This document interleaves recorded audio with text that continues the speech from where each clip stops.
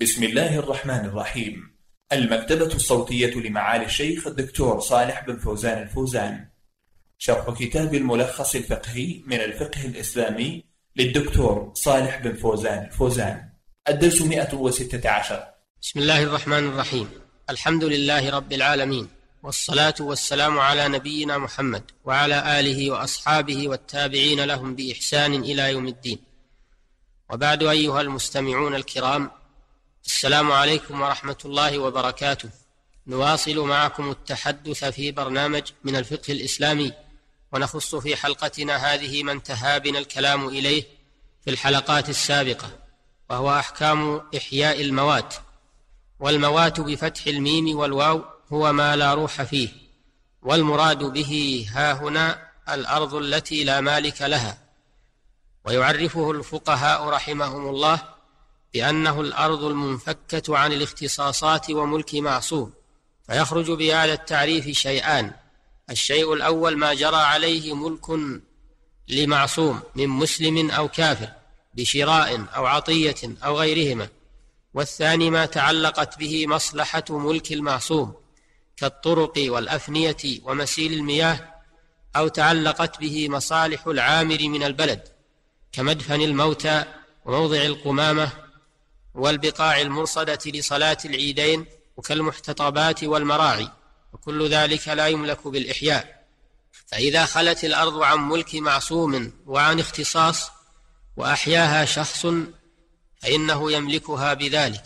لحديث جابر رضي الله عنهما مرفوعا من أحيا أرضا ميتة فهي له رواه أحمد والترمذي وصححه. وورد بمعناه أحاديث أخر. وبعضها في صحيح البخاري. وعامة فقهاء الأمصار على أن الموات يملك بالإحياء وإن اختلفوا في شروطه.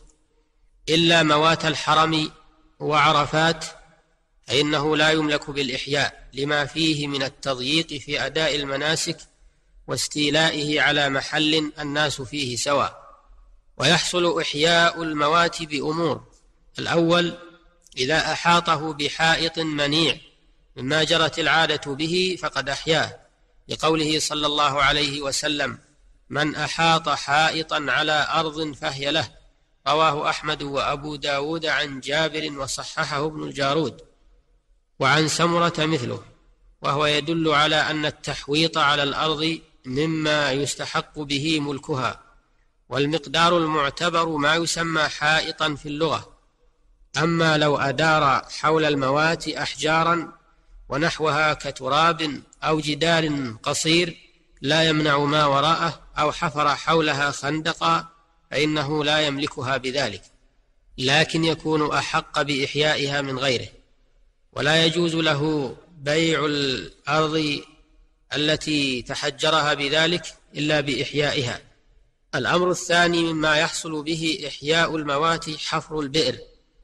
في الأرض الموات فإذا حفر فيها بئرا فوصل إلى مائها فقد أحياها فإن حفر البئر ولم يصل إلى الماء لم يملكها بذلك وإنما يكون أحق بإحيائها من غيره لأنه شرع في إحيائها. الأمر الثالث مما يحصل به إحياء الموات إذا أوصل إلى الأرض الموات ماء أجراه من عين أو نهر فقد أحياها بذلك. لأن نفع الماء للأرض أكثر من الحائط أكثر من نفع الحائط. الأمر الرابع إذا حبس عن الأرض الموات الماء الذي كان يغمرها ولا تصلح معه للزراعة.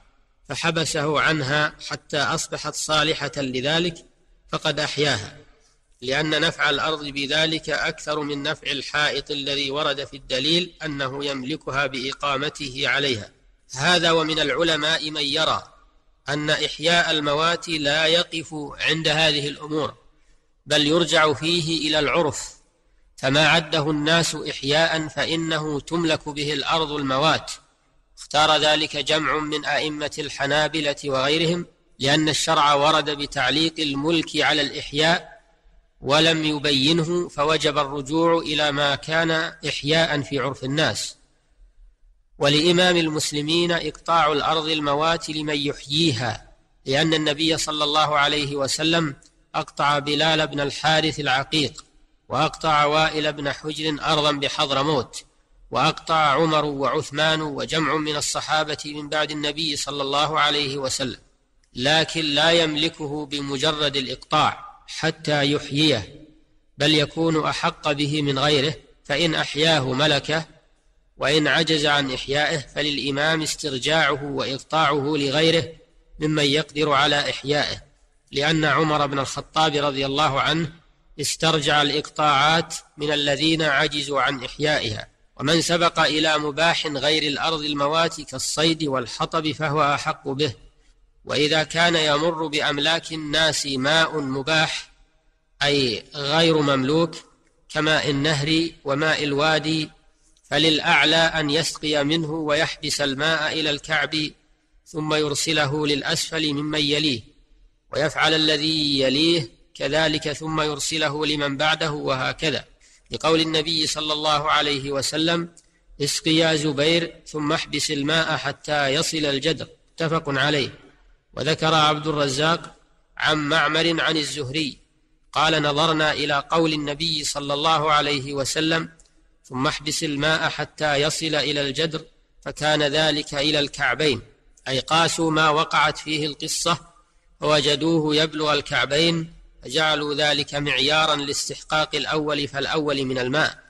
وروى أبو داود وغيره عن عمرو بن شعيب أنه صلى الله عليه وسلم قضى في سيل مهزور واد بالمدينة أن يمسك الأعلى حتى يبلغ السيل الكعبين ثم يرسل الأعلى على الأسفل.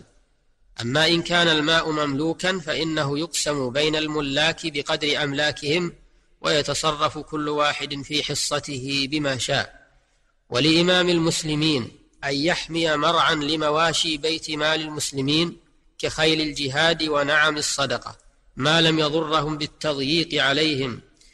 لما روى ابن عمر رضي الله عنهما أن النبي صلى الله عليه وسلم حمى النقيع لخيل المسلمين فيجوز للإمام أن يحمي العشب في أرض الموات لإبل الصدقة وخيل المجاهدين ونعم الجزية والضوال إذا احتاج إلى ذلك ولم يضيق على المسلمين. أيها المستمعون الكرام بهذا انتهت هذه الحلقة فإلى الحلقة القادمة بإذن الله تعالى. السلام عليكم ورحمة الله وبركاته والحمد لله رب العالمين. وصلى الله وسلم على نبينا محمد وآله وصحبه.